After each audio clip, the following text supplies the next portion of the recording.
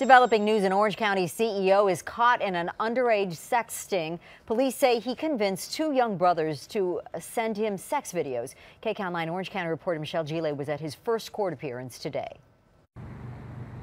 Kayed Sharif has pleaded not guilty. The authorities are telling us that the victims were brothers from Virginia, ages 9 and 10 years old, when this allegedly happened back in 2013.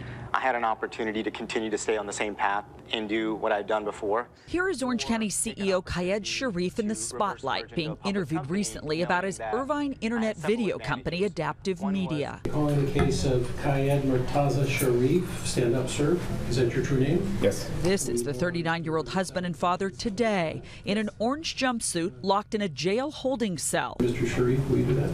Yes. This afternoon, Sharif was charged with 33 separate counts of lewd acts with young boys and using minors for sex acts. Authorities say it's a case that involves two brothers from Virginia and a series of online exchanges on the social media app Tango. What he did is he contacted them through the Tango app on Christmas Day of 13 and he basically just started it off, hey, what's your age? And went almost, I mean, within an hour, took it sexual and started to see what he could get. The boys were 9 and 10 years old. Sharif claimed to be someone named Jeremy Stevens.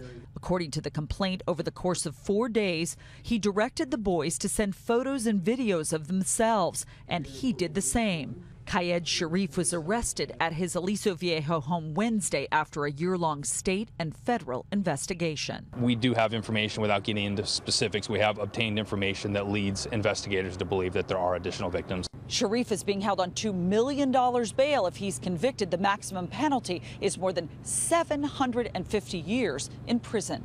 In Santa Ana, Michele Gile, KCAL 9 News.